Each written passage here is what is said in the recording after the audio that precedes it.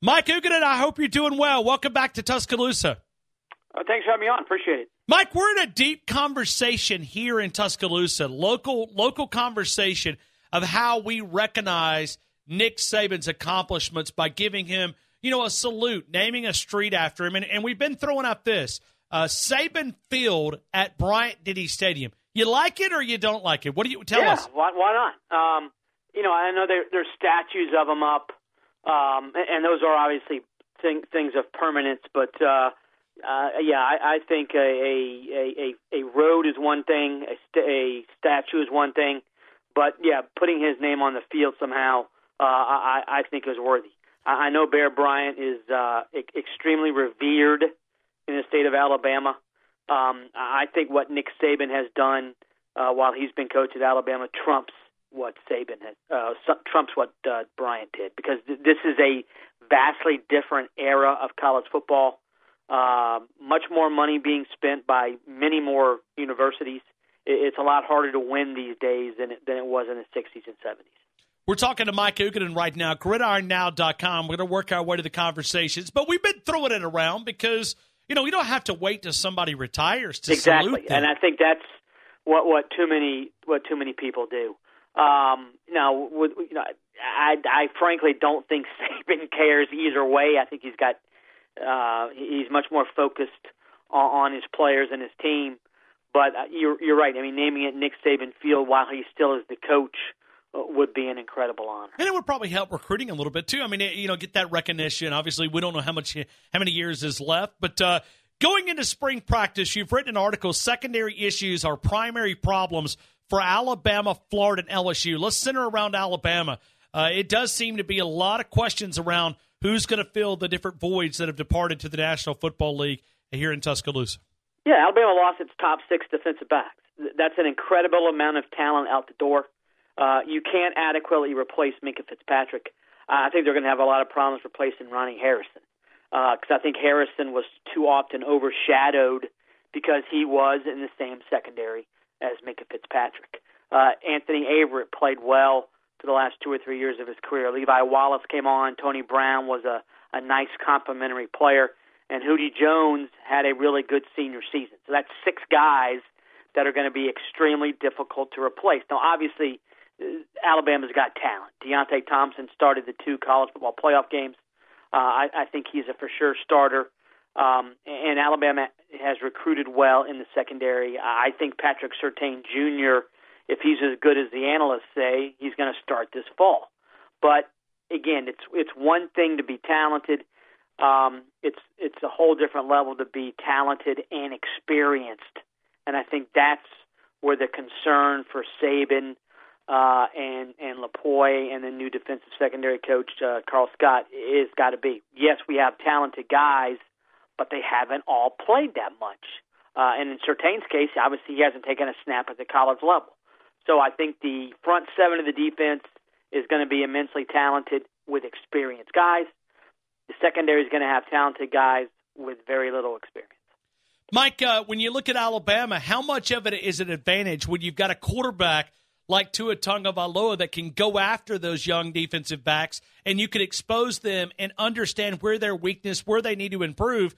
Uh, when you look at the other schools, LSU's up in the air about quarterbacks. I don't know what the situation there is in Florida, but it seems like that Alabama's got a quarterback that can attack this young secondary in practice and expose them before they get to game time.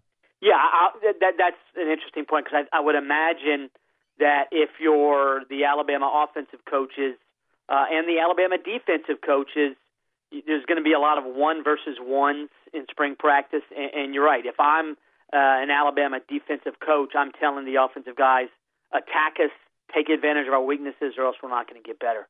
Um, th- there is an advantage. I think Alabama opens with Louisville. Obviously, Lamar Jackson's gone, which is a gigantic positive, but you still got Petrino as the play caller.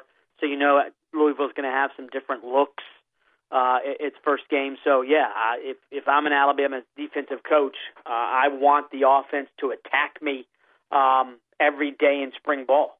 Uh, I want Deionte Thompson to get better.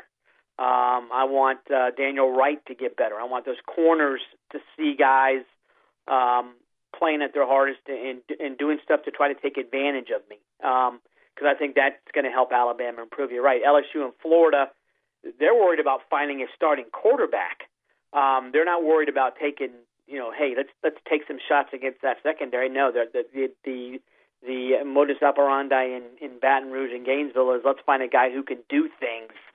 Um, they're not worried about hey, can can our quarterback test our untested secondary? They have far more important things to worry about in finding a quarterback who can play.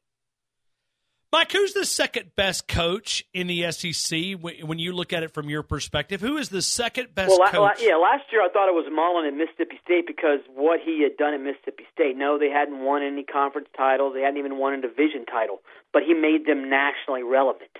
And if you make Mississippi State nationally relevant in football, you're doing something.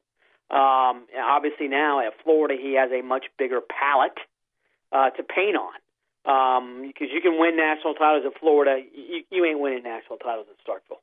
Um, what Kirby Smart did last year was impressive. His second year on the job at Georgia, can he carry that over to this season? They're going to be prohibitive favorites to win the East. Can he get it done? Um, but two years, I would argue, is not uh, enough time to fully gauge Kirby Smart yet. Um, so yeah, I think and Jimbo Fisher coming into the league. Fisher has a national title on his resume. Um, quarterback whisperer of sorts. Um, tremendous recruiter at Florida State. I think he's going to be a tremendous recruiter at Texas A&M. Um, so I think the uh, Florida's got a much better coach now than it did. Texas A&M's got a much better coach now than it did. Tennessee, I think, w- will be proven to have a much better coach than it did. Um, I, I think it's the SEC has gotten tougher this off season because of the coaching changes. Um, Kirby Smart, let, let's see how good he is. Again, two years is not enough time to fully gauge him, but I, I still think right now Mullen's the second best coach in the SEC. Let, us go to Dan Mullen. What do you think are reasonable expectations there in Gainesville in year number one?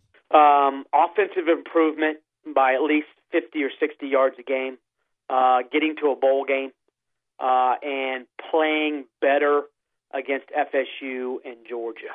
Um, now, two years ago, Jim McElwain beat Georgia um, in Kirby Smart's first season. Last year, they got beat 42 to seven. Um, McElwain never beat FSU, never came close to beating FSU. That gap has to narrow. Um, but again, getting to a bowl game is is a must, as is offensive improvement. I don't expect, I don't think anybody thinks Florida's going to average 450 yards a game like they did when Mullen was the OC but you can't be at, you can't be Florida and average 330 yards a game either. You need you need to flirt with the 400 yard mark uh, and show definite improvement on offense. Mike, uh, let me ask you about basketball here for a couple of minutes. This league has made a dedication on the side of the coaches to bring in some elite coaches a few years ago. It looks like it's paying off for the SEC and this NCAA basketball, or will pay off, obviously, with eight teams going dancing.